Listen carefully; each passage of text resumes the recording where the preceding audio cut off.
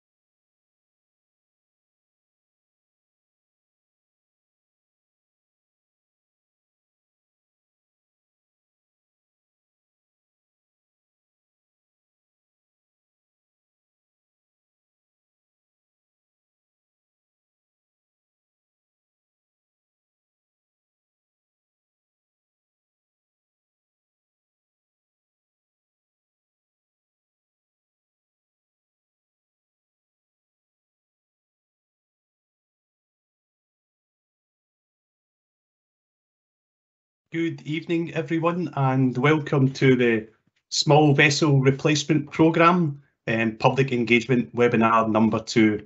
Uh, my name's Jim Anderson. Uh, I'm sure a few people who are tuning in tonight might uh, know who I am. Uh, I'm the Director of Vessels at CMAL, and behind the scenes tonight, uh, we've got representatives from CMAL, from Transport Scotland, and from CalMac Ferries. Next slide, please. Okay, um, so thank you once again for joining the, the webinar for the Small Vessel Replacement Programme. The webinar will last approximately one hour 30 minutes with time for Q&A within the session. Uh, we ask you that you please visit our dedicated project page for the Small Vessel Replacement Programme at the normal place www.cmassets.co.uk forward slash project forward slash SVRP. There will be a recording and a PDF copy of this presentation uh, will be made available on our website and on our YouTube channel and we hope to do that within the next few days, all being well. So if we don't get it for Friday, certainly we'll get it uh, by early next week. Uh, please take a note that this presentation is being recorded and a Q&A document with all the questions asked at the, the webinar will be available on the CMAL website and we hope to publish that within the next three to four weeks. Next slide, please. The Q&A session will take place uh, at the end of the presentation and will be conducted by Brian Fulton, Head of Business Support at CMAL. Please type your questions into the chat box on the right-hand side of Teams throughout the presentation. And if you just have a look there and see the image to your right, it is optional whether you use your name or post as anonymous.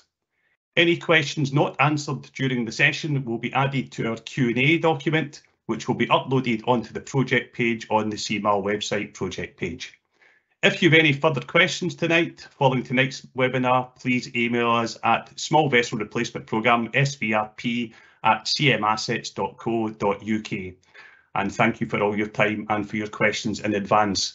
I'm now shortly going to hand over to Lewis Hamill, who'll be going through the presentation. Uh, just quickly before we go there, this is, as, as we've said earlier, the second in the this live webinars.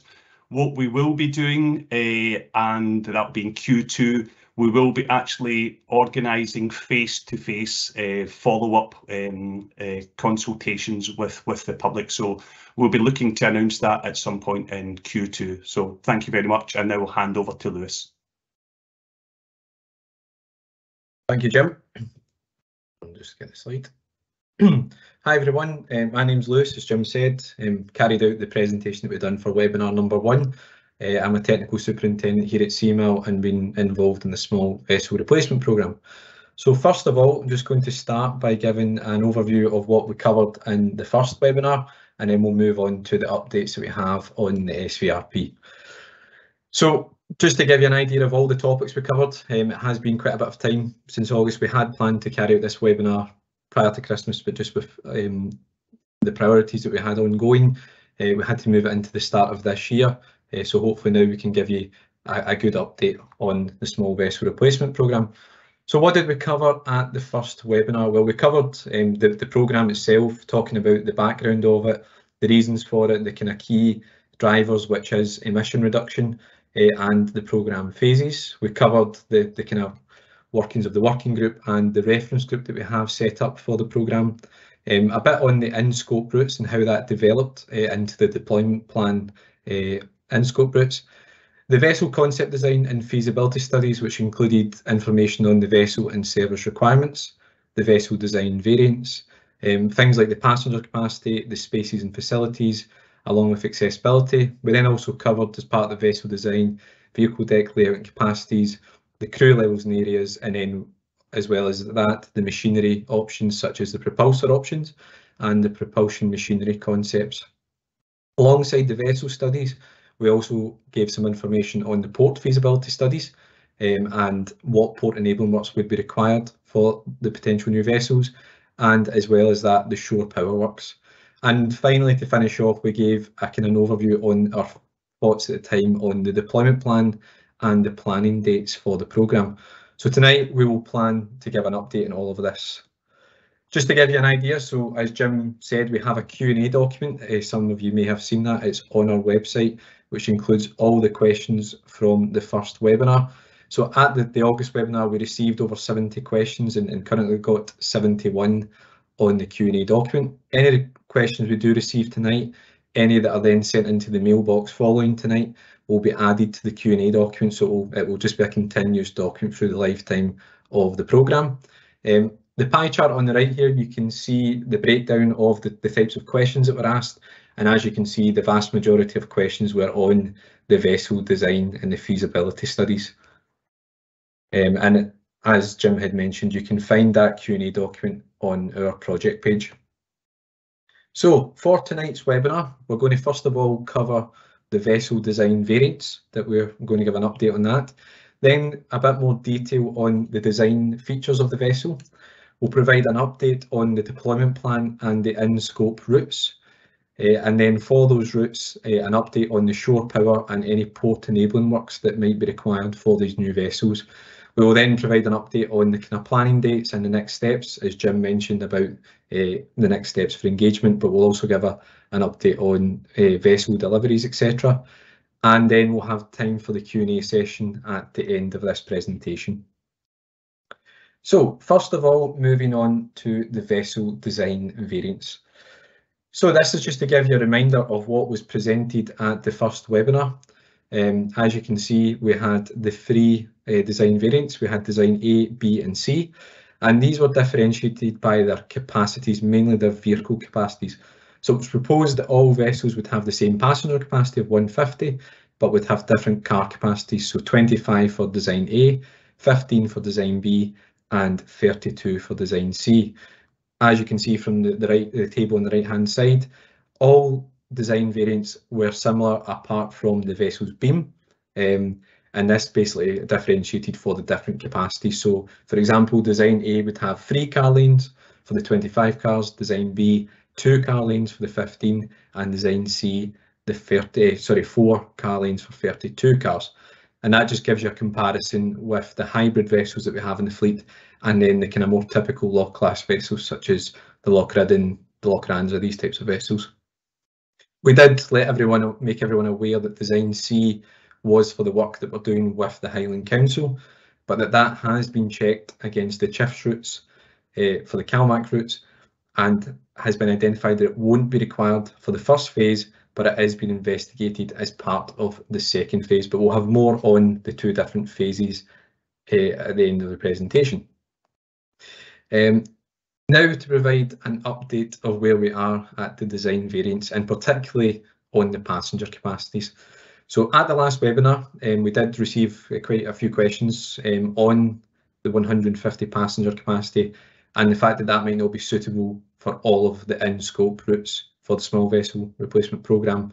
Um, we've also received questions at likes of our reference group on this as well.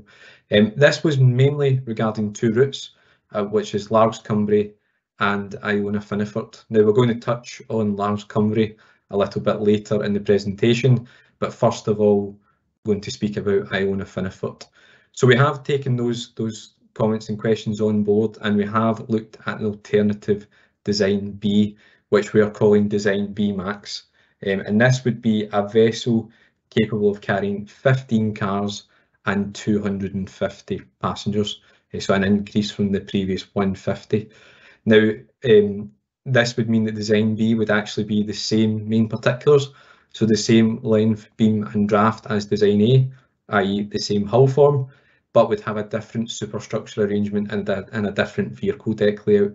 So if I take you to the table on the right hand side, um, you can see the difference between design A, design B and design B max. So this is the latest main particulars with an update to the overall length, um, which is just short of the 50 metres that we'd stated before. The rule length, otherwise known as the waterline length, is the 40 is still 46.2 and as you'll see there, design B max is the same beam as design A. Um, the design draft and the maximum draft, so maximum draft of 2.14, but a design draft that we're looking at of 2.1, um, that would be the same for all design variants, as would the design speed. And then this is where the designs differ. So A and B would be 150, but design B max would be 250. And the, uh, the car capacity, also known as PCUs, uh, is now we're now saying 24 stroke 25 for design A. The reason for that I'll touch on in a second when we show some layouts of the vessel is just an update to the evacuation uh, proposals for the vessel. Um, and in design B and design B max would have the same car capacity. Uh, for HGVs, design A would, would be capable of taking two as it was previously, and design B max would be the same as design B.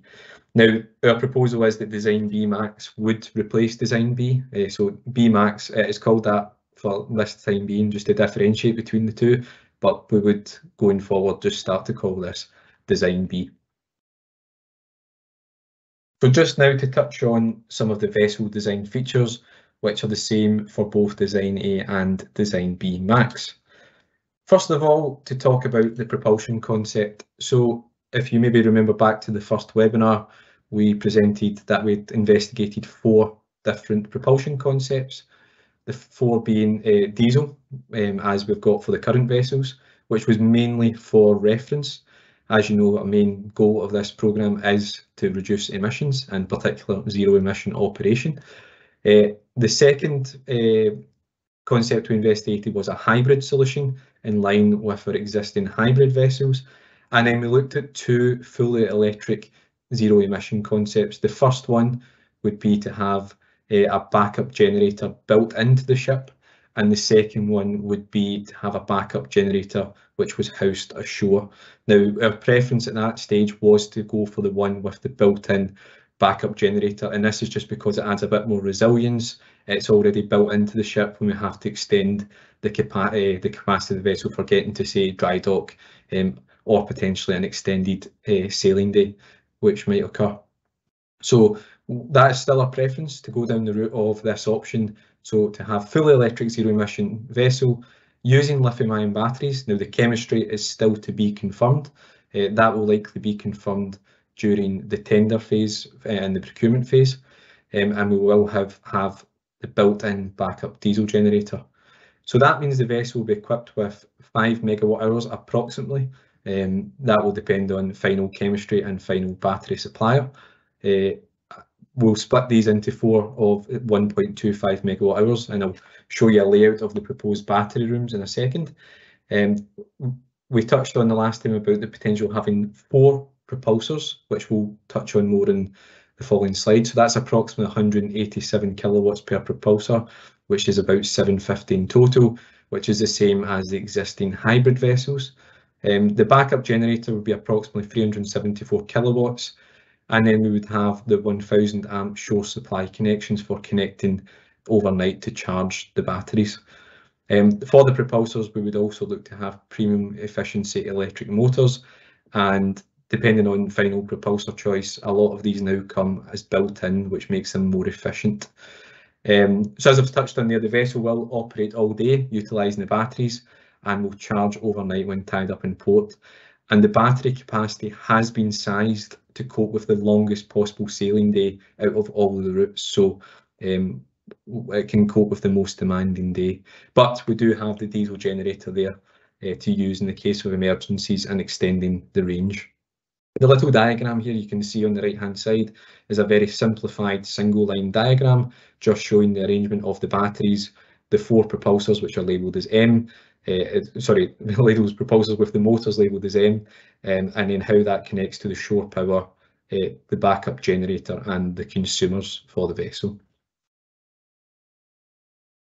So to touch on the batteries themselves uh, is going to be a key part of this. Um, it is obviously the main way of uh, propelling the vessel.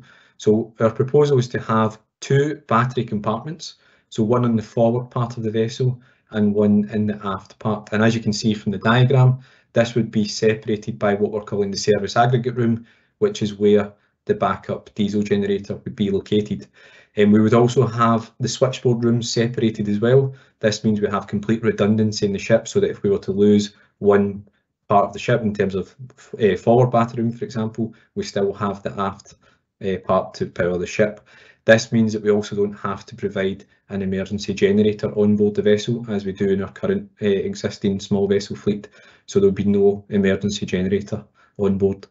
Um, so we would split the batteries equally between the two. So each battery compartment would have approximately two and a half megawatt hours or, or 2,500 kilowatt hours of batteries. And again, that is dependent on final chemistry uh, and battery supplier. So I've touched on that the battery chemistry will be decided uh, during the tender stage, but we are investigating all the different types available, mainly LFP, which is which is lithium iron phosphate, uh, which is what we have on our current hybrid vessels, um, LTO, lithium titanate oxide, and then probably the most popular in the market these days, which is NMC, nickel, manganese, cobalt. To focus on the propulsor type, so we provided some, some information on this previously, but just to give you a bit further in-depth look.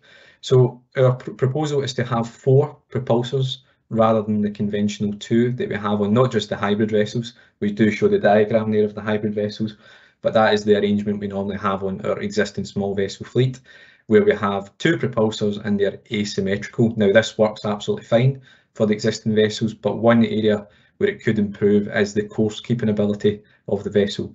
So having four propulsors, um, a bit more evenly split, means that the course keeping should improve on the vessel. This will also provide added redundancy in the event that one propulsor was lost. Instead of just having one out of two available, you have three out of four available, so uh, an improvement in redundancy. So we are investigating different propulsor types and we've yet to make a decision on what the final propulsor type will be. And this will again likely be done during the procurement phase. But we have investigated mainly azimuth and cycloidal propulsors. Um, both of these options, they offer high levels of manoeuvrability, um, high levels of reverse thrust, and one of the most important things, a low response time from a head to full astern. As you can appreciate, these vessels have to operate very quickly and get away from the slipways and a lots of conditions. The images down the bottom left, you can see there's just some examples that we have on, on the existing fleet. So the far left is a cycloidal propeller unit, which is the most common within our uh, small vessel fleet. But we do have some examples of azimuth thrusters, which is the centre image and the right image, um, the, the, middle one being Veth and the one on the right being Schottel, just the makers of those propulsors. Now to talk about the station holding and the windage. So both of these propulsor types um, that we're investigating will offer high levels of station holding. And if I take you over to the table down to the bottom uh, row, um, on the hybrid vessels, this is approximately 41 knots uh, with the cycloidal uh, propulsors that are on there. Um, and depending on the final uh, propulsor choice for our vessels, this would be uh, similar, so it'd be comparable, around about 40 to 44 knots, depending on final choice. Um, despite the, these new vessels being longer, they actually are very comparable, um, almost approximately the same uh, with the existing hybrid vessels. So you can see the diagram down below. So this in the green image is the new vessel uh, side profile uh, against the existing hybrid vessels. So the Hallaig, the Catriona and the Lochinvar. And it shows you the comparison between the two. So although longer, the windage is comparable, but probably more importantly is the windage is lower down. As you can see, the wheelhouse is sitting slightly lower. Um, this still provides the line of sights that we need to provide for the crew to meet all the rules and regulations. Um, but because we've got the passenger accommodation and the crew accommodation down on the vehicle deck, um, this means we don't have the wheelhouse sitting as high uh, over, over the vehicle deck, so it does reduce the windage in that aspect. Um, you can also see there just the comparison of the main particulars between the hybrids and obviously similar propulsion powers. Um, what I should say, this windage calculation doesn't include things like the ramps, any uh, vehicles that might be such as HGVs, um, which are obviously quite high-sided, and also doesn't include any naviga uh, navigational equipment such as the masts that sit on top of the wheelhouse. So to give you an update on the comparison of the design variants, so really focusing here on the design A and the design B max. So you can see here they are the same hull form, same length, same beam, and obviously same draft, which you can't see here. Um, where they differentiate is the superstructure arrangement, so the area for the passengers and the crew. So if we start with design A, there is space for three car lanes. Um, on design B max, there is space for two car lanes. And then you can see the difference between the passenger accommodations, which we'll come on to in a little second. Um, you may remember from the previous webinar that we did have a hatched area going across the centre of the ship, which was the proposal for evacuating. This has now been updated following some engagement with MCA and it's now two hatched areas, one forward, which you can see in the yellow hatched area, and one aft. This slightly reduces the capacity of Design A down to 24, however, still sufficient um, for the forecast demand calculations that have been carried out. Um, I will come back to this in a second. They've got some further images of both passenger layouts and uh, the vehicle deck.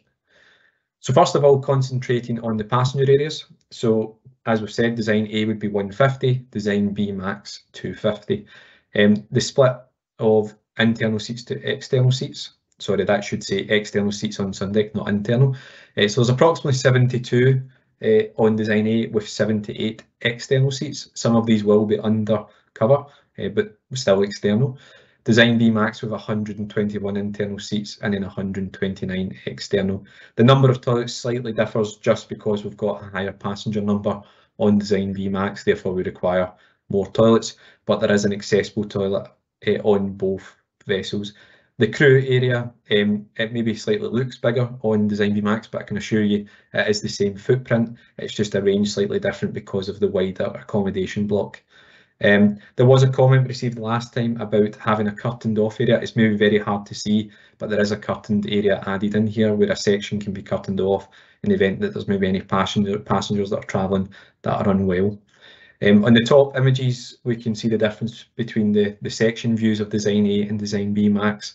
So um, Design A on the left showing the free car lanes. Um, if you look to the right hand side of that image, you'll see the passenger layout with the external sun deck above. So this would be open and then the wheelhouse above that. Um, and then similar idea for Design B Max, however, wider accommodation block. Um, as we presented the last time, the, the concept is to have all of the accommodation over to the, the starboard side of the vessel and the port side is minimal, just using space for services and access for mooring and stuff like that for the crew. Um, we touched on it in the previous webinar, but just to, to go over it again, we do have this hatched walkway you can see, which is the kind of pebble dash uh, on both designs. This is a, a, pavement that's raised from the car deck uh, and will have ramp access up onto it and it's wide enough for a, a wheelchair user um, and this will go all the way from the forward ramp right through to the aft ramp for both vessel designs. Um, so there is a segregated passenger walkway here, whereas in a lot of our existing small vessels, um, you're straight off the car deck and, and into the lounges, which is quite tight. So this gives a bit more space there as well. Now concentrating on the vehicle deck, so we've already touched on the different car capacities for Design A and Design B, and that means that we have three car lanes for Design A and two for Design B Max. Um, for HGVs, there will be space for two um, on Design A and one on Design B. Um, that This is mainly for Design B Max, just to the lower uh, deadweight requirements there. We do have space for one dangerous goods, as we do on uh, the existing vessel fleet, uh, and as you can see that has been marked on the drawing with the black box. For deadweight for design A, um, we have a deadweight approximate figure just now of 140 tonnes. Please note this is still in development. Um, and a cargo deadweight of 119 tonnes. And then for Design B Max, this would be approximately 96 tonnes. And then a cargo deadweight of 75 tonnes.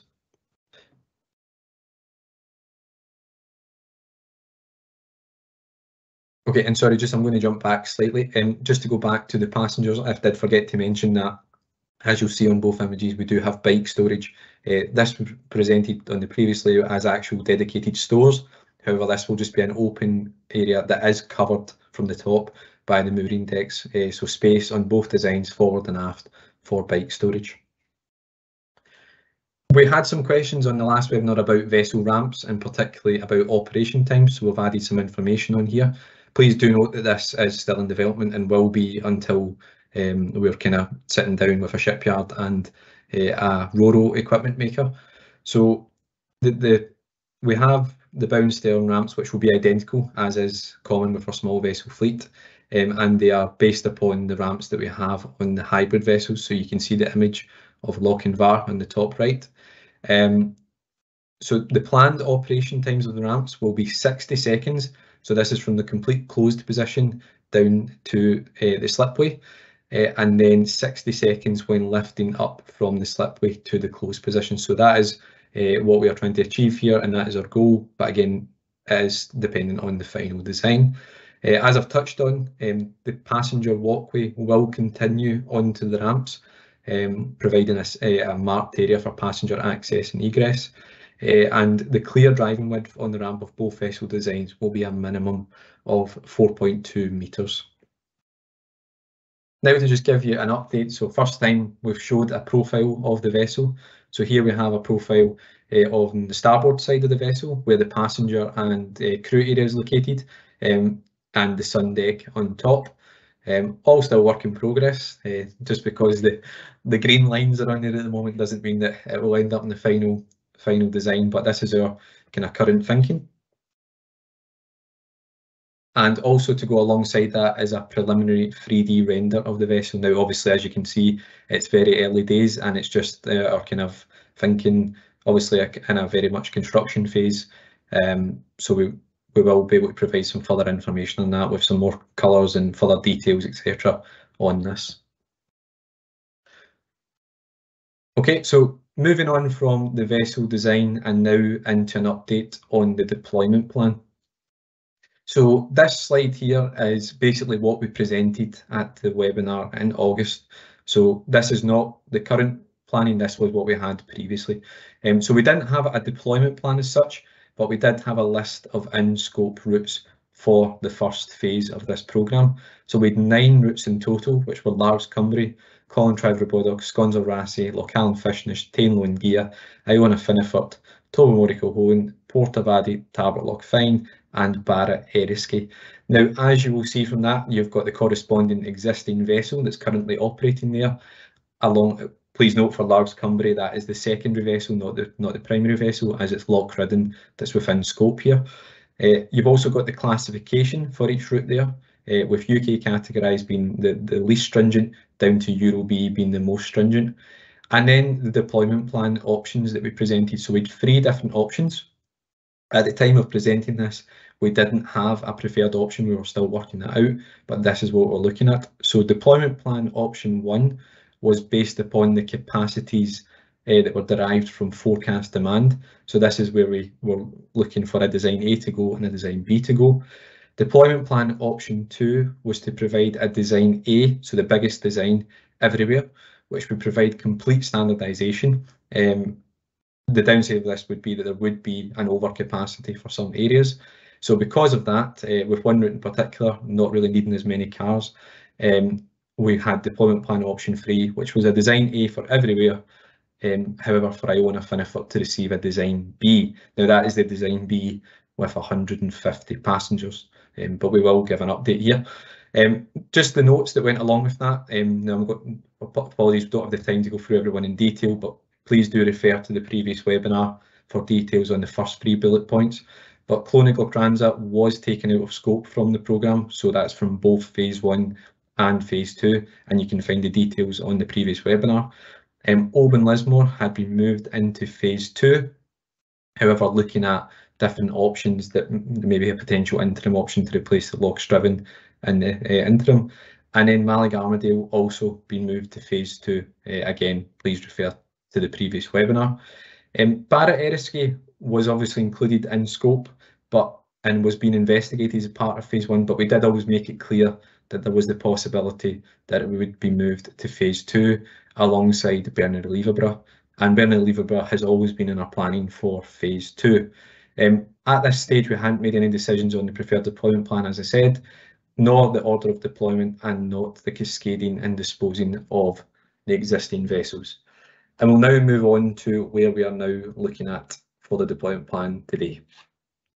So following the kind of development of the vessel concept design and also the port enabling works that are required, we now have the following provisional deployment plan. So I really want to emphasise that it is provisional. It is our current thinking for the seven vessels, um, but we still this still could change just when we start to work out port works, etc.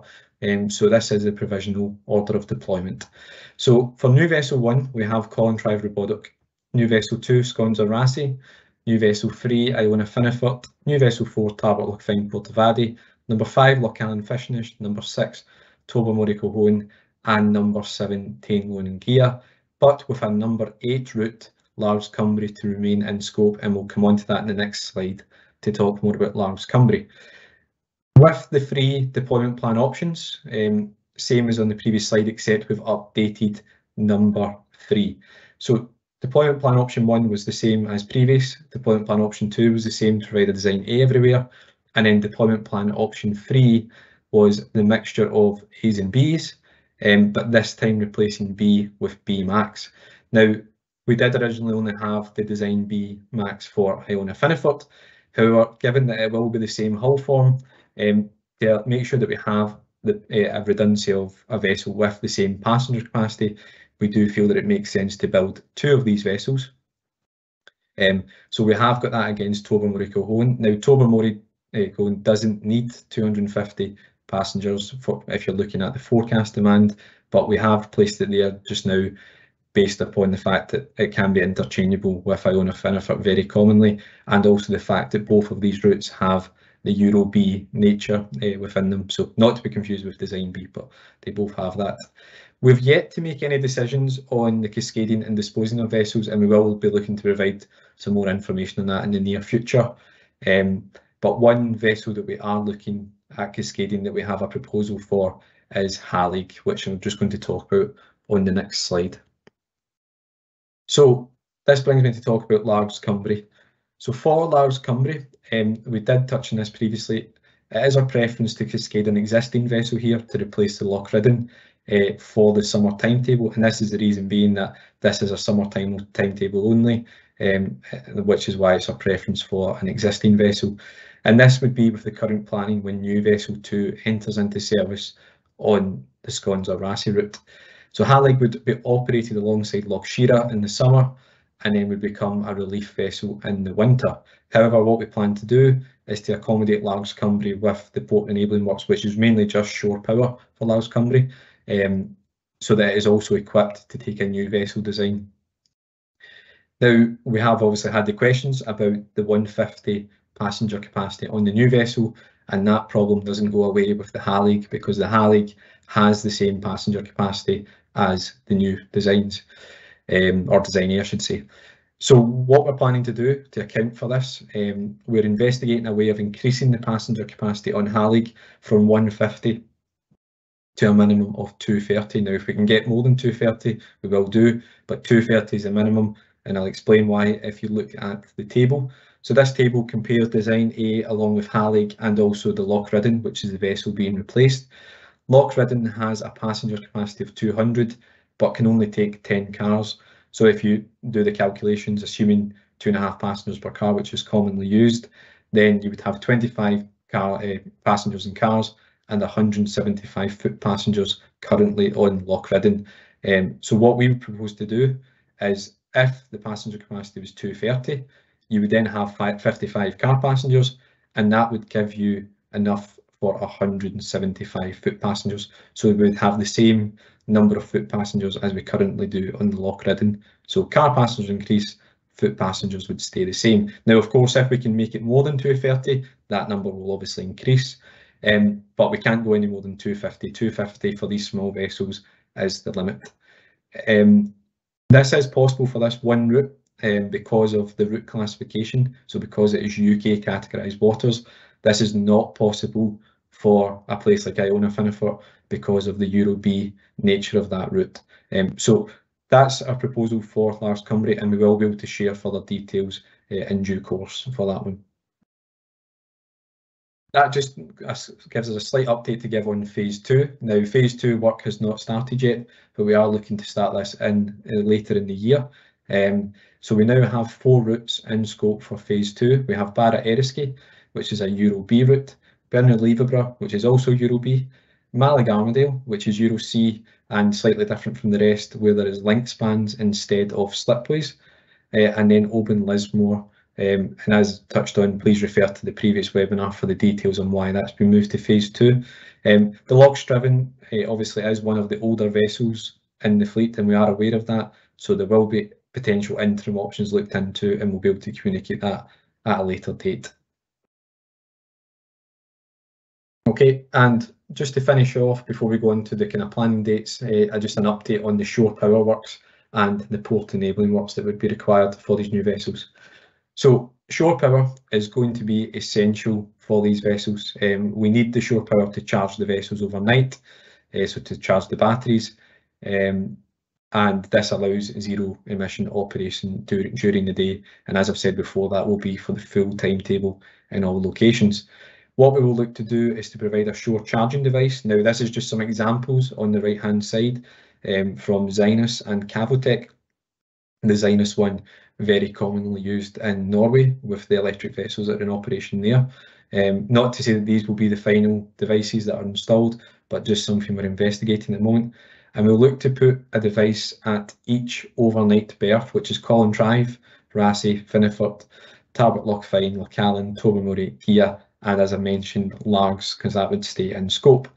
And as we touched on before, uh, a shore supply of a thousand amps would be provided, um, which is uh, 720 kVA if you're looking at it that way. Uh, for the port enabling works, so we did touch on this last time that dredging is essential. So we do have an increased draft on this vessel compared to the existing boats. That allows us a bit more displacement, it improves the hull form efficiency um, and it reduces the battery capacity on board, but also allows us to carry batteries because they, they do weigh uh, quite a bit. Um, so the dredging would be required at five out of the 16 in scope phase one ports, and these are Colintraive, Portavadie, Kilchoan, Lowen, and Gigha. Um, we then do have some other works which are more recommendations, so um, we will be investigating these further, uh, whether and these will be taken on a port by port basis. But these include things like aligning structures, uh, slipway widening and lengthening, uh, overnight berth refurbishment and some upgrades there, including upgrades to bollards, crew gangways, these types of things, shore winches, and then maybe any potential fendering upgrades to the any aligning structures and overnight berths. Um, so many of these are current issues that are currently existing with the small vessel fleet we have at the moment. A good example is down in the, the bottom image there, we have the Lochinvar at Fishnish, so there's currently no aligning structure there. Um, so the vessel is still capable of operating there, but if there were an aligned structure, it would improve resilience of the route, uh, not just for the new vessel, but also for the existing vessels that are there. Um, so these will all be taken and then uh, reviewed on a case-by-case -case basis. We will be putting together as part of the options development stages, we call it, uh, and the port the port design. Um, we'll put together a programme and any disruption, particularly for dredging, uh, if there's any disruption from that, and that will be shared with, with stakeholders for the uh, relevant routes in due course. We did touch on this briefly last time, I just want to kind of reiterate it again. There are a number of independent port projects ongoing. Um, they're not a direct result of this small vessel replacement programme, but it's just to make you aware that we, we do keep uh, in touch with everything else that is going on. Um, so some of the, the works that are going on at the moment, there is improvements being looked at to the traffic management, so marshalling areas. Uh, this is network wide and it's for both CMAL ports and third party ports. Um, we have the Cumbrae slipway replacement, which is ongoing, and that is a CMAL project. And there's a couple of port redevelopment projects that are on the go. Our Iona and Fionnphort, you'll probably be aware, it's quite advanced and just at very early stages of Tain and Gigha port redevelopment. So this is all uh, taken into account for the small vessel replacement programme. Uh, we are in constant engagement with our Bute Council and, and, a number of other third parties uh, to make sure that it's all aligned. Okay, and just to finish off before we move on to uh, time for Q&A, um, it's just about the way forward and the next steps for the programme. And this is mainly focusing on phase one. So the planning dates that we have, so we, we have the webinar tonight and over the course of the next days, I'm pretty sure we'll receive some more questions into our mailbox as we done the last time. So we're still receiving questions maybe up until a week, two weeks after the webinar. This means that it will take us about three to four weeks to produce the Q&A document. We want to include as many questions and answers as possible.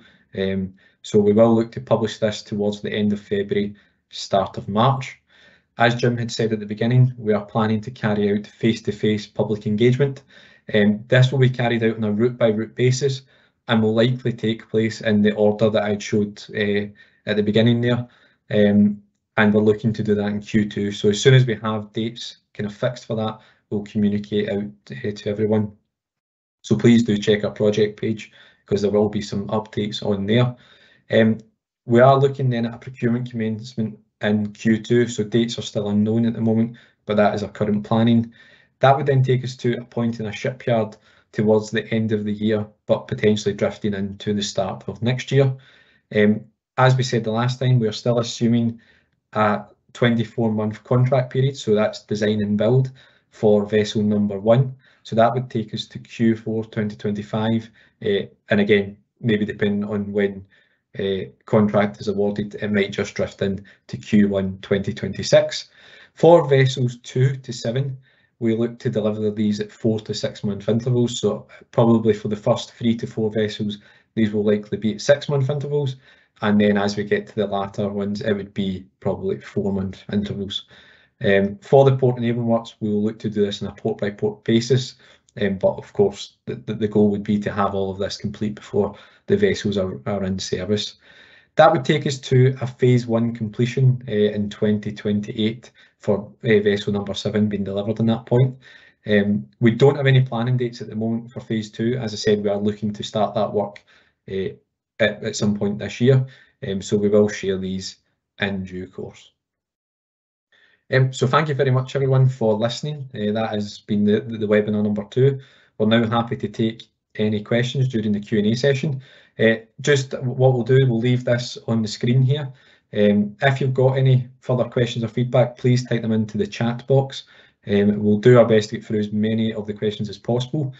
But please be aware if it's not answered, it won't be forgotten about. It will be answered in our Q&A document, uh, which you can find in the link shown on the screen.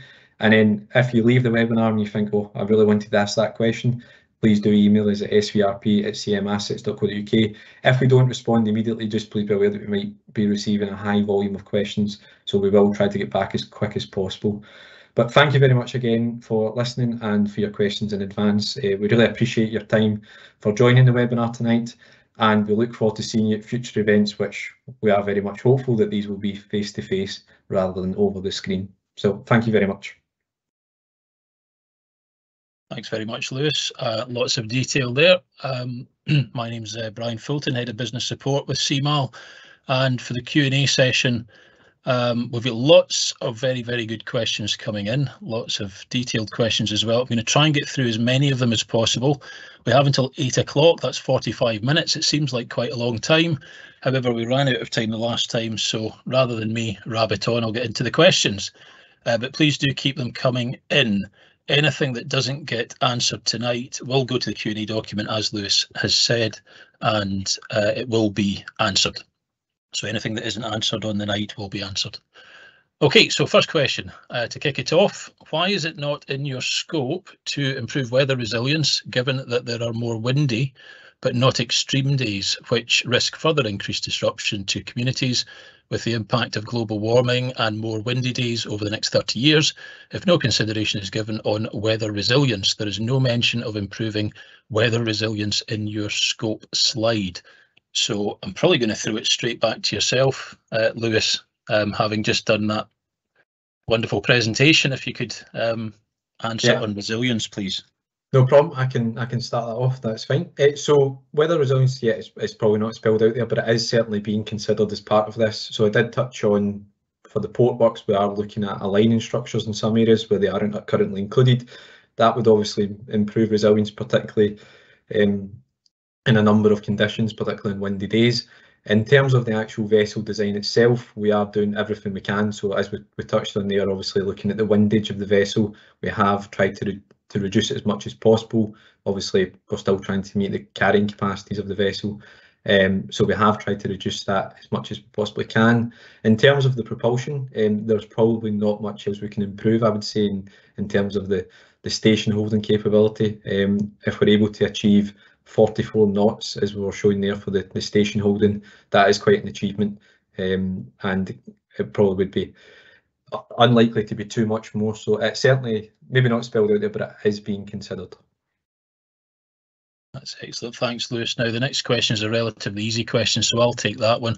Will the PowerPoint be available on the website after the presentation? And the answer is yes, it will probably be on tomorrow, as will the recording, the recording of, of this evening's uh, webinar. Okay, next question. Most large infrastructure projects that have multiple possible design solutions would use a design competition to find the optimum solution. And we have an example, fixed links where cable stay bridge designs from one architect might be compared with tunnel options from another and a suspension bridge for a third. So can you explain the benefits of your process whereby there has been no design competition, but instead you have limited the creative design input to just one designer. That's maybe one for yourself, Jim. Okay, thanks, Brian, and uh, thanks for the question. Uh, what we do here is, is part part of the process when when we start to look at the the requirements for the vessel, the service needs, etc., etc. Uh, yes, we do engage with a single naval architect when it comes to vessel design. Uh, but we basically start off looking at all the options. We'll look at, you know, monohulls, we'll look at catamaran options, uh, which we have done for the small vessel replacement programme. And the results of the CFD analysis that we carried out along with the, the naval architects really led us to the to the, the conclusion that the catamaran in this case wouldn't be as competitive as the as as the monohull. So that work has been carried out, and that's taken into consideration, you know, the design speed requirements, deck space, you know, um, so on and so on and so on. So so that evaluation is carried out, but yes, it is with a, it's with a single uh, experienced naval architect consultant. Okay, thank you, Jim. Um, now you'd mentioned Lewis that there's four prop units uh, on on the new vessels and the new vessel design. Will the vessel continue in service if it loses one of the four prop units? Yep, so I can answer that to start with. I'm not sure if maybe someone from CalMac wants to come in after me, but so so the idea of going for the four, like I said, is to have a bit more redundancy. Um, the vessel would be able to be capable of still running, it would be totally up to the, of course, the operator whether it would keep running the timetable that day. Um, I think that would be a decision that would probably be made in service, but it certainly has the capability of of still running uh, when losing one of the propulsors. I'm not sure um, anyone, Phil, from or Graham from CalMac, there's anything to add to that? Yep, thanks, uh, Lewis. Yep, happy to happy to pick up on that one as well from a CalMac perspective. So you're absolutely right. You know, it, it does increase uh, the, the ability to do that, and I guess it would be a, ser- a ser- in-service decision that would be made, be made. So an assessment would be made on a case-by-case basis on that, taking into account a variety of other conditions um, that were prevailing at that particular point in time but ultimately it, would be the the captain's uh, decision in that case as to whether or not the service was able to continue. Uh, so it would be in a case by case basis, but certainly with having the four propulsors, it, it does increase that resilience for us. Yeah, thank you. Excellent, thanks Phil and thanks Lewis. Um, what will be the extended capacity on uh, DG? So that'll be the diesel generator. From the fuel tank's point of view, uh, one day of operations running on diesel generator in case the batteries will not be charged overnight. So essentially, if there's no charging overnight, how long will the diesel generators last for? Yeah, I can answer that, Brian. Thank you. So I probably should have touched this. I didn't probably make it. Um, should have maybe put a diagram in. Maybe we can do that for a future engagement event. So the intention would be here if the crew turn up in the morning and the batteries haven't charged, then the, we would start the generator. Now the crew are normally on site uh, before the timetable starts, maybe half an hour, 45 minutes before. So we have worked it out for every single route that if we start the generator 30 minutes before the timetable, then and run the generator during the course of the timetable, we will have enough battery capacity to last through the day. So the generator will actually charge the batteries and the vessel will still operate on the batteries, but having a generator run at the same time. And from that, we would be able to um, blast the full timetable for every route that was in scope on that list. Um, for, for the extension, again, it would just be a case of we can run the generator uh, to extend the range for going the longer distances, um, but it wouldn't have to last the full day at all points there. It would just be run as a kind of hybrid. Super, thanks for that, Lewis. Okay, the next uh, question is quite lengthy. I will read it out. I don't think we can provide an answer for it because it's really a question for Highland Council who aren't on the call tonight, but we will certainly put this question to them and there will be a response to it on, on the website in the Q&A document. But the question is, service requirement for the Corran Narrows route is unlike anything else in the CalMac network.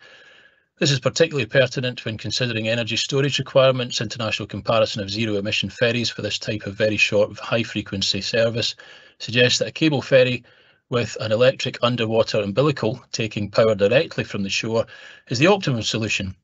It removes the need for expensive batteries together with their weight and displacement penalties. Cables might also provide better resilience to the fast tidal flow there.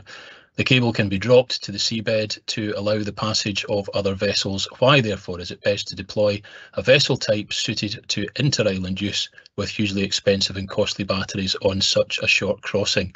So that's an excellent question. Um, but as I say, I don't think we've got an answer to that with the panel that we've got this evening, but we will get an answer for that and put it into the Q&A document. So thank you for that. Uh, next question, will the ramps be wide enough for a pedestrian walkway as well as space to unload vehicles at the same time. The current hybrids operate without the walkway barriers as it may be perceived it may be difficult to safely unload large vehicles with them in place. So I think for the new vessels, maybe one for yourself, Lewis. Yeah, can answer that, no problem. Thank you. Um, so no, good question. Um, for most routes, simultaneous operations don't don't normally occur for vehicles and passengers. Now that obviously can change. So the plan would be for design A, um, there is a bit more width on the ramp just because we don't have as large superstructure. So the, there would be space for the passenger walkway plus the clear width that I'd mentioned. I think it was 4.2. So you would have that plus the passenger walkway. For design B, because there is more superstructure, which is obviously taking up a bit of the width, um, the passenger walkway is included uh, in, in the clear width there. Um, but it would still be substantial, I think probably around about uh, around about 3.5, but we can come back with an exact figure on that.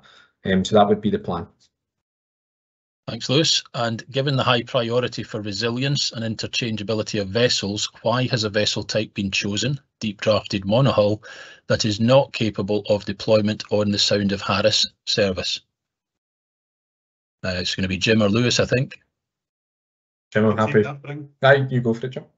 I can take that. Yes, it's going back to that earlier question as well that was raised, Brian. Really, when when we look to that, there are limitations on the sound of Harris route, as we know, when it comes to to to draft and, and water depth. Uh, but we have carried out the studies looking at the CFD analysis of both the monohull and the and the catamaran, and the the mono the, the catamaran was proven not to be as competitive for our our requirements. So hence um, it, it, was impossible to actually come up with a solution that could also include the the Sound of Harris route. That's super. That's for uh, phase two, I believe, Jim. Yes, yes, phase two. Phase two. Thank you. Um, next question: When will the invitation to tender be announced? We don't. I can take that, Brian. Thanks, Jim. As yet, we don't have a we don't have a planning date for that. I don't think I'm on camera yet. No, now. Um, so we don't have a, a, planning date, and as soon as we have got a planning date, hopefully when we actually come out and uh, have these consultations face to face, we should have more of an update on the planning dates for the procurement phase. Thanks, Jim. And I think this one will probably be for yourself as well. The experience of the hybrid vessels shows that despite being hybrids, their heavy weight and lack of in-service charging has resulted in higher fuel consumption than conventionally powered vessels of the same capacity. What confidence can we have, therefore, that these heavy deep displacement vessels with no in-service charging will demonstrate their promised carbon emission savings in actual service? Okay. Um, I wouldn't consider myself to be heavy displacement and, and deep vessels by any means. It's all it's all pretty relative what we're talking about here. Um, so we've got lots of data from the, the hybrid ferries which have been in you know in service. The Hallaig will be well, 10 years come come October this year. Uh, so there's lots of monitoring. We know the type of energy, the fuel burn on each of these vessels. We've carried out extensive studies looking at the, the new hull forms so we have the data for the energy requirements that, uh, that these types of vessels will need. So that the battery capacity that's been sized so far, as Lewis uh, touched on in the slides earlier on, was looking at five megawatt hours. That's the figure we're we're basing it on it at the moment, and the five megawatt hours is is is plenty capacity for the duration of the ship to operate all day long. Plus, we do have the benefit of having this additional backup generator as well, if that's needed. So a lot a lot of work has been done over the last two years looking looking at all of this in the analysis. Thanks, Jim. Um, maybe one for yourself, Lewis, now in the Loch Dunvegan for Largs Cumbrae for Largs Cumbrae, why not modify the ramps on the Loch Dunvegan to be suitable for the route uh, if it will no longer be required at Colintraive, as it is more suitable passenger and vehicle capacity for the Largs Cumbrae route? Yeah, I can answer that. Thank you. So, no, it's a really good question, and it is something that will be thought about. The, I suppose the biggest reason that we're looking at an alternative option in terms of the Hallaig is because the Hallaig is only 10 years old currently, whereas the, the Dunvegan is beyond 30 years now. So by the time we do get to kind of 2025, 2026, when we start to replace these vessels, uh, we're, we're well into the kind of beyond the operational life uh, expectation of these vessels. So, like I said, no decisions have been made. Um, I wouldn't say the Hallaig decision is, is made or concrete. It's just a proposal at the moment. Um, but between ourselves and CalMac, we will look at all the options that are available um, and obviously we take into consideration the conditions of vessel, the age of the vessels. Just because some of the vessels are older doesn't necessarily mean that they are uh, the vessels in the worst condition. Um, so that all gets taken into account uh, for the the whole deployment plan. Um, Phil, I'm not sure if maybe CalMac have anything to add on cascading of vessels. Yep. Um, so thanks, thanks, Lewis, and, and, thanks for the question. There's probably not too much, probably not too much to add to that. Uh, to, to, be honest, as, as Lewis says, there's there's obviously other factors in the equation here. The age of the vessel, the desire for reduced uh, emissions as well would, would be another piece there, and um, which would feature in into that equation. But as Lewis says, the, the final decision around some of this has not been made yet, and we are still working uh, through uh, deployment options uh, to get a suitable solution um, that would suit that secondary vessel at Largs. Thank you. Thanks, Phil. Thanks, Lewis. Um, lots of great questions coming in, so thank you. Keep them coming. We've got plenty of time. Um, can you please provide for public information the ratio between thruster output and side windage for each of the Loch class vessels? Now, I'm assuming that's the current Loch class vessels? Does anybody have that information? Um, we could, we can, we can't provide that right, right this moment in time, Brian. That would uh, be a piece of work to be done. But yeah, Yep. it is possible to provide that information. Okay, so so we'll commit to providing that. Uh, thank you. Uh, speaking from Mull, uh, why were local communities and representative groups not directly contacted to be told about this webinar rather than relying on us having noticed the event on your website? Lewis, do you want me Yeah, to take that take that. Or you Yeah, take that one? Okay. Yeah, take that.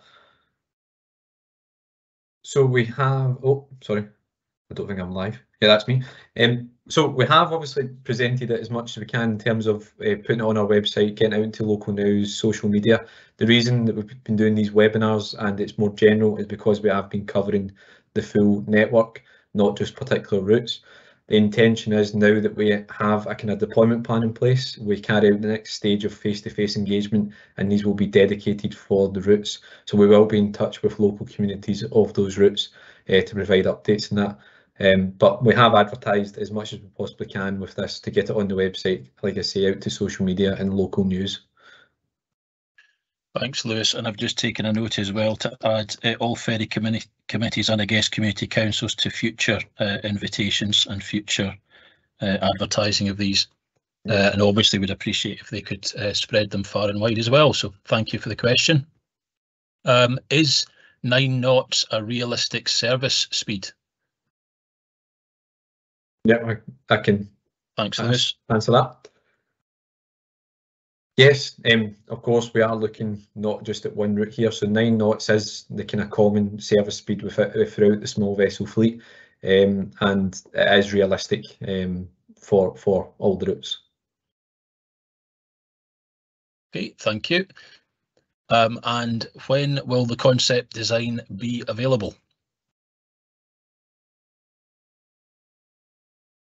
Jimmy, you I- one? I can take that one. Uh, Thanks, Jim.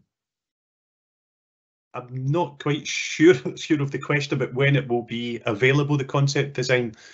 Um, but we can Possibly, possibly to be shared uh, externally, I guess. Um, Um, well, once we're at the stage, we've got a we've got a final GA. Then we'll at the next presentations we can we can um, present more on on where we're at. Right, and do we have a, a time scale on next presentations? I guess is the Um, is the question. I'll give early, it give an indication. early part of Q2, Brian. Uh, we're now just into February, but um, early part of Q2 is what we're what, what we're thinking about. Okay, thank you. So I think we can say early early part of Q2 for the answer to that. Thank you. Uh, the procurement timeline seems to fit perfectly with the availability of yard space at Ferguson's. Have have the government made a decision yet about direct award of this contract to FMEL? Maybe one for yourself, Jim. There's been been no decisions at all made about the procurement process uh, in Brian. We're still in the the stage here of concept design and consultation, and that that will follow. But there's been no decisions made uh, about the procurement process for the new vessels. Okay, thank you. Uh, the next one is actually got three questions in one. Um, I'll just go through them one at a time. Uh, so could you disclose the likely budget? Start with that one. Well, if you look on our three-year plan, we always put aside what is the budget for for the vessels, and and the budget obviously includes the you know the cost of the ships and various associated um, project costs. So it, it's there, and if you if you direct yourself to the CMAL three-year plan, you'll see the budget that's been allocated for the project. Okay, and second part to that, is there likely to have a social m- value marking component within the competitive tender? There's there's also always an element of um, uh, what do we call it again? You you remember the term, but there's yes, there's always there's always an element of it. Yeah. Community benefits? That's it, community benefits. Thanks, Brian. Okay, and uh, question three, uh, will you appoint one or more shipyards and assumed to be regional advantage?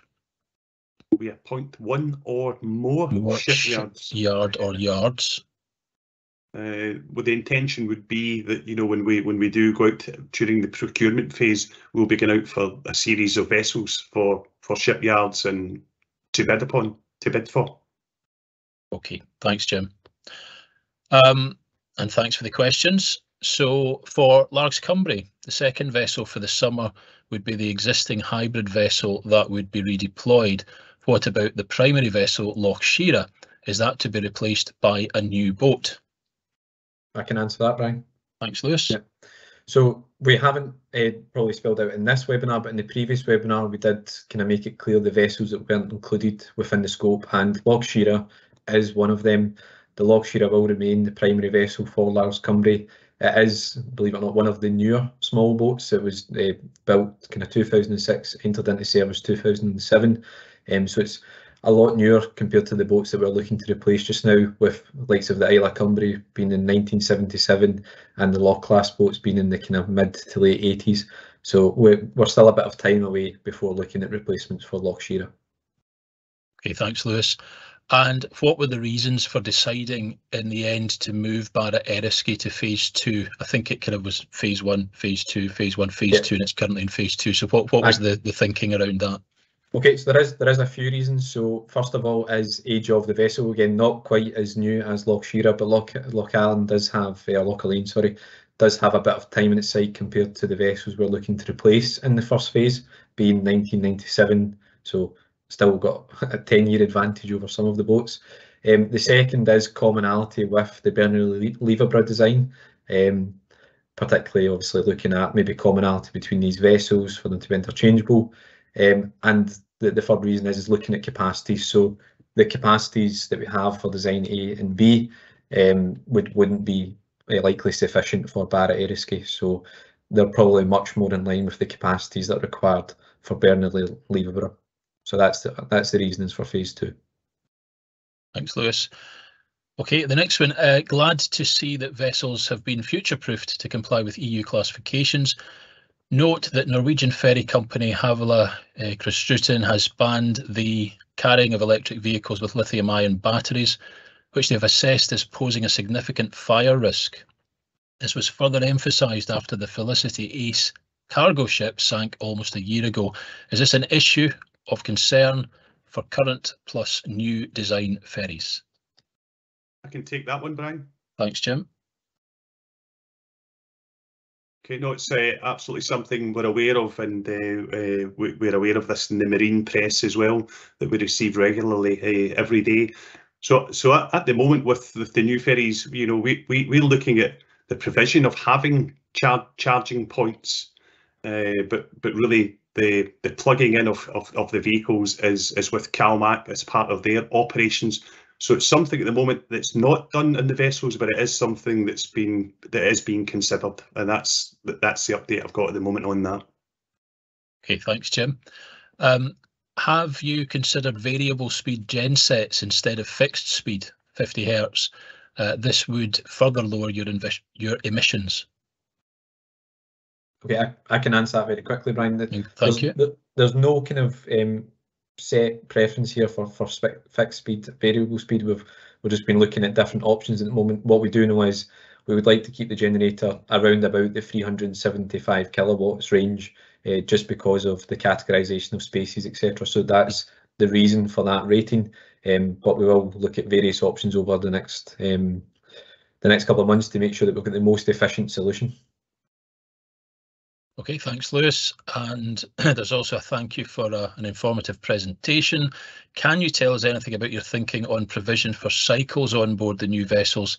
That's including any non-standard cycles with different footprints like tandems, disability adapted cycles, trikes, cycle trailers, etc. Keeping cyclists away from petrol diesel fumes from vehicles on board is a key desirable characteristic on boarding and disembarking. So uh, cycles, active travel, yeah, can do. So what we do have on here, uh, it was shown on one of the layouts, uh, but we can provide a bit more detail on that in the future. We do have some dedicated uh, bike storage space, um, so that is it is off the car deck. I mean, unfortunately, we do have a small vessel here where space is an absolute premium. Um, so we do have space dedicated there, which the, the other small vessels don't tend to have. Um, original plans was for this to be a closed off store but we just feel from a, a point of view it'd be much easier to just have it as an open space that is covered by the mooring decks above. Um, given that some of these routes are only 5, 10, 15 minutes long, um, we don't really want people in and out of stores and it's just easier. Uh, in terms of space for all the different uh, list of, of bikes you've mentioned, that there will be obviously the space there. Um, I can maybe put an update on the Q&A document of, of how much space will be available, uh, the kind of square meterage. Okay, thank you. And were faster hull forms more power uh, considered, which might allow for improved timetables due to shorter journey times? So faster speed vessels. Thanks, Jim.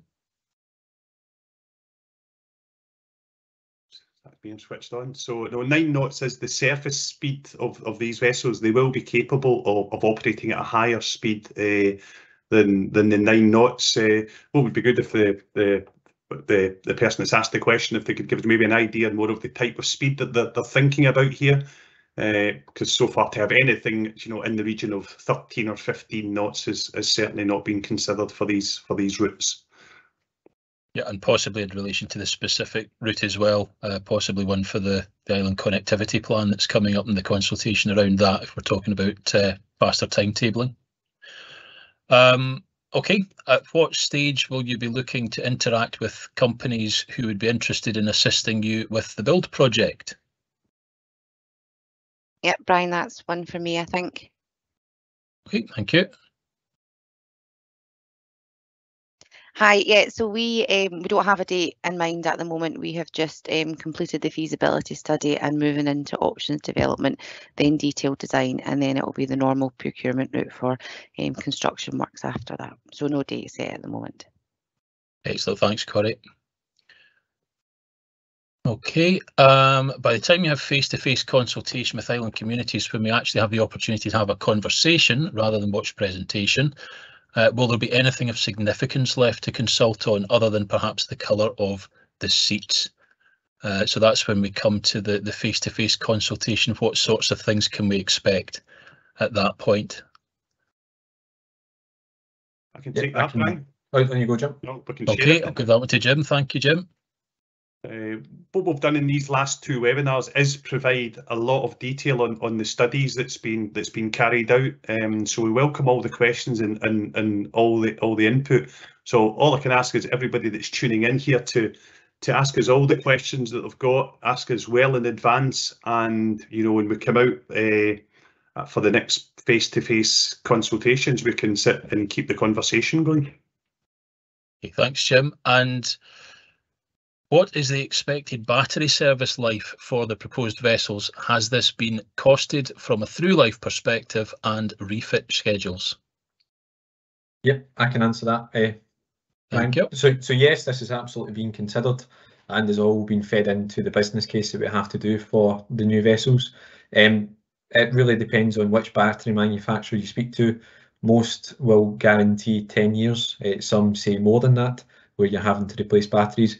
We currently have a good example just now of the three hybrid vessels. Um, so the first one, Hallaig, will be 10 years old this year, and we'll be looking to replace the batteries uh, in due course. Um, but this is obviously the battery technology from 10 years ago. So the battery technology is always improving. Um, so, but we do have uh, 10 years as a kind of figure in our business case.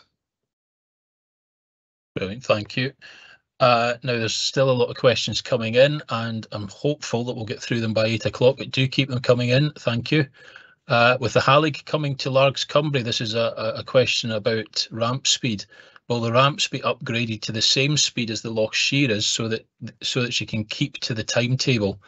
Uh, fast ramps, as in summer, a hybrid ferry struggles to keep the timetable, uh, or any other vessel coming to the Cumbrae route for that matter. I, can maybe answer the start of that question, and then if if Thank you. Calmac have got anything to add, happy to do so. So well, first of all, just say that there's no the decisions haven't been made. So just just in case everyone thinks that's it, the Hallaig's coming, it's just our, our kind of proposal or thinking at this moment in time. Um, as part of all that, we absolutely will look at how that compares with ramp speed, etc. Um, I, maybe Calmac can answer more about the timetabling part of that if there's anything to add. Hey, thanks, thanks, Lewis. There's, there's probably not too much to say on it in the moment, other than to say that you know we obviously will be looking at that as as you know if indeed uh, the plans do firm up around about that, and uh, just looking at you know what what might be possible there, we will absolutely be looking at you know what effect that has in the timetable and feeding in any impacts on that, and then considering how we solve uh, any of those issues going forward. Thanks, Phil, and thanks, Lewis. Um, the next question is similar to a previous one. It's around around speeds and route timetabling, um, but specifically on some of the longer small vessel routes, increased service speed would bring significant service advantages, primarily increased frequency that not only offers more travel options but also increases total route capacity. Why were designs that offer higher service speeds for the same power requirement not considered? One for, I guess, Jim or Lewis. I, I, I can take that. I, mean, yeah, Thanks, Jim. I, missed, I missed the first part of that, Brian. If you want to just go over that again. Yes, certainly. So on some of the longer small vessel routes, increased service speed would bring significant service advantages, primarily increased frequency that not only offers more travel options but also increases total route capacity. Why were designs that offer higher service speeds for the same power requirement not considered? That's something we can have a, a further discussion with uh, Transport Scotland uh, when it really comes to the island's connectivity plan about you know levels of service requirement. So the service requirements that we were all working to here were for a vessel that could be capable of uh, nine knots uh, service speed, but we can we can come back on that one, Brian. Okay, thanks, Jim. Uh, will the potential restructure of CMAL and CalMac impact the potential schedule? Um, so that's really a, a question around Project Neptune. Um, and I think I, I, could probably answer that one and and and just give a firm uh, no because which, I guess whichever way Project Neptune um, spells out the, the, the structure of the organisations, it won't impact the actual delivery. Um, I think it's safe to say. Uh, moving to the next one. Given that you have yet to carry out public consultation, will there be opportunities for communities to influence the capacity of the vessel on their route? Communities' expectations and aspirations for economic growth, including both visitor and resident expectations, may be different from the simplistic assumptions of the current usage and simplistic Transport Scotland modelling. Again, that is probably one that will fall into the island's connectivity uh, plan which is undergoing consultation at the at the moment. Uh, I don't know if Jim, you've got anything to add to that? No, no, nothing I can really add at this point, Brian, on that one. But when, uh, yeah, we're talking about the sort of policy and timetabling and any changes to the actual service there. Um, as propulsion, batteries and uh, you need to help me out with with uh, PMS are the main systems on each vessel and research already carried out. Uh, do CMAL plan to nominate a preferred turnkey supplier as part of the ITT process? I can take that, Brian. Okay, thanks, Jim. Somebody can switch me on. Uh, there's part of the ITT process, there'll be a, a technical specification with um, a list of requirements to be delivered to be delivered. Uh, there's no there's no mentions of any preferred suppliers within that documentation, so it will be based upon a statement of requirements and a technical specification. Thank you. Uh, a major problem with the hybrid vessels is insufficient cargo deadweight capacity because of their high lightship weight. Commercial traffic is regularly short-shipped on the Lochaline Fishnish route as a consequence. Will these vessels have greater capacity for HGV carryings than the hybrids? I can answer that. So Thank that, you. That information was presented in the slides, but maybe not directly compared against the, the hybrid vessels. So there is an improvement uh, in deadweight, uh, particularly cargo deadweight. Um, I think we showed there 119 tonnes. If you compare that to the hybrids, it's, it's quite an increase. Um, there will be space for two HGVs on the vessel, um, which is comparable to the hybrids, but um, it would be HGVs plus plus vehicles as well. So that that is the plan for the new vessel. For the design B max, I should say that it would be one, uh, and it is slightly less uh, deadweight requirements. But for the the route mentioned there, it's a design A that is proposed. Thanks, Lewis. Um, what's the expected lifespan of the Loch Shira and when will she be replaced? And if its like lifespan is to be extended, will there be any upgrades done to it? For example, upgraded to a diesel electric propulsion system to make it more resilient and efficient from both operation and maintenance, from both an operations and maintenance point of view. Um, so this is what is the lifespan? What's the the lifespan of the the Loch Shira? Jim, you want me to answer that? You? Uh, I can I can start. So Loch Shira was uh, delivered in 2007 when when I worked in the Fergus, Ferguson shipyard. Um, so she's now what 16 years old. So she's still got some some life in her. Uh, currently, no plans to to make any significant um, upgrades on on the vessels, but it's it's something you know maybe longer term that, that we will look at. Don't know if you want to add anything, Lewis. No, no. The only thing I'd maybe add is that we do kind of work with the operational life expiry of being 30 years, so that is what we consider. Thank you. And on bike spaces, um, question is, will the bike space have charging sockets? I think it's, it, it intends to say um, charging sockets in the bike spaces? Um, I'm not too sure what that's into, if that's for like electric bikes. Um, there's no current planning, but something we can take into consideration. Jim did touch on electric car charging sockets, which there is a bit of a question mark over at the moment in, in discussions with the regulatory bodies ongoing to make sure that it is actually possible to include these. So it is something that we consider, but it might be out of our hands to be able to include these. Thank you. This is one on the, the procurement process, maybe one for yourself, Jim. Uh, given that it's possible that an overseas shipyard could be a successful bidder in the procurement process, would CMAL commit to a Scottish or UK uh, or Scottish and UK procurement of key equipment and free issue to the shipyards, assuming this is co cost effective? Um, we, we would need to look at if, if that indeed is is an option.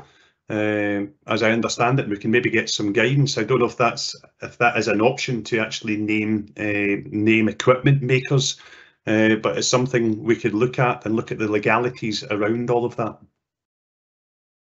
Uh, it would also require a, a, an overseas shipyard as well um, within the, the statement of the question.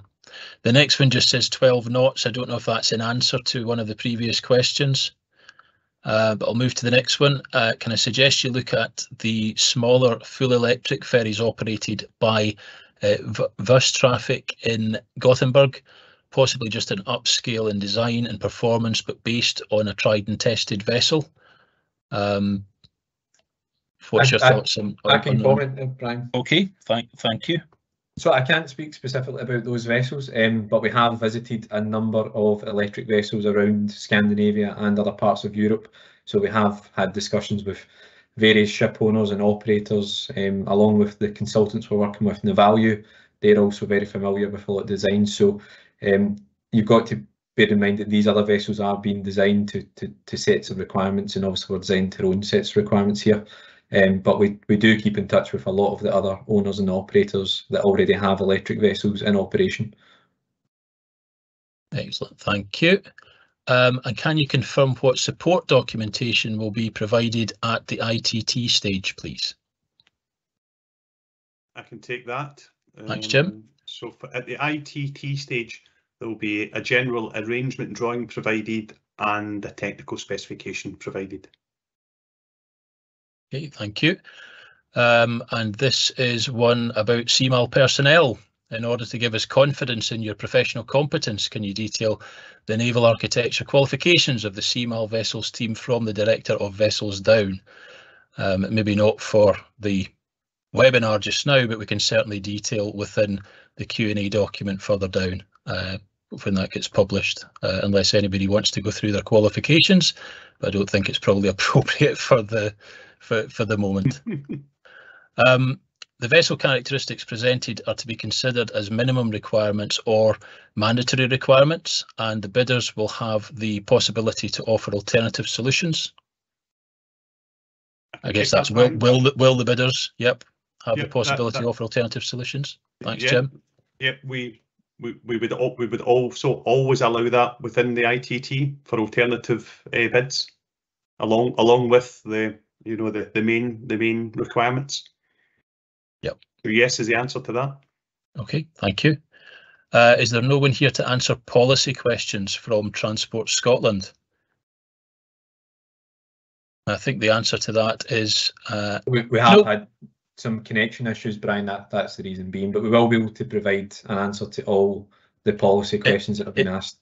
It, it, is genuinely unfortunate because we did have somebody from Transport Scotland uh, lined up to come on and they have been una- unable to connect quite simply. However, uh, any of the policy questions, we will get answers uh, to those in the Q&A document uh, post the meeting.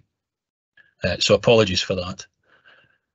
Um, is it not a concern that you're building vessels to defined capacities without actually asking the communities what their expectations are for their usage? Uh, the communities may have different expectations from the current timetable for one capacity, two frequency and three timetables. Um, so I guess that's one for CalMac and one perhaps for yourself, Lewis, but it really is this kind of statement of requirements question um, and how we, we get those to feed into into the process and also one for the island's connectivity plan, going back to that. Yeah, I, I can start it off, Brian, and then maybe if Calmac could come in on that. So yeah, Thank you. uh, as we've said before, we are designing to requirements that have been set here. Obviously, these capacities haven't just been made up; they have been worked out through all the forecast demand. Appreciate that might be different opinions from from the people uh, using the ferries, but that is where these capacities have come from. Um, and I suppose you're absolutely correct, Brian. Is the island's connectivity plan is the opportunity to feed into all of that. Um, I'm not sure if any, Phil, if you've got anything else from Calmac. Yeah, I guess. Yep. Thank you uh, for that. Um, I guess I can add just a little bit uh, to that. So, you know, agreeing with what Lewis was saying there, just maybe just to give a little bit of uh, context in terms of the forecast demand that that CalMac uh, use. Uh, so, I guess you know that's been provided by a, an external consultant, um, Reference Economics, uh, which is a, a body that is is approved and agreed by uh, Transport Scotland uh, to provide those forecasts. Um, they provide forecasts for, for various traffic types as well as um, the expectation for um, passengers across each of the routes and, and we really have that forecast out until 2041, 42 um, at the moment, um, which has given us a, the, the sort of information that we're feeding into this here. But I would just echo, I suppose, what Lewis is saying around uh, island connect connectivity plan, and there probably is just a little bit more comment um, that could be given by Transport Scotland later um, uh, in the Q&A document as it comes out. That's super. Thanks, Phil, and thanks, Lewis. Um, and next question, uh, has a cost comparison been made between your budget price and other recently delivered vessels of similar capacity and propulsion type? I can answer that, Brian. Thanks, Jim. So along with our, our naval architects that are working on this with us Navalue, uh, we, we look at the, the market and what the market's doing for you know similar capacity vessels with similar propulsion type and so on. So so we do know the, the current market prices for these vessels and our consultants also know the current market indicative prices for the main propulsion plant, for the batteries, for the ramps, for the navigation equipment, for the fit out of the ships.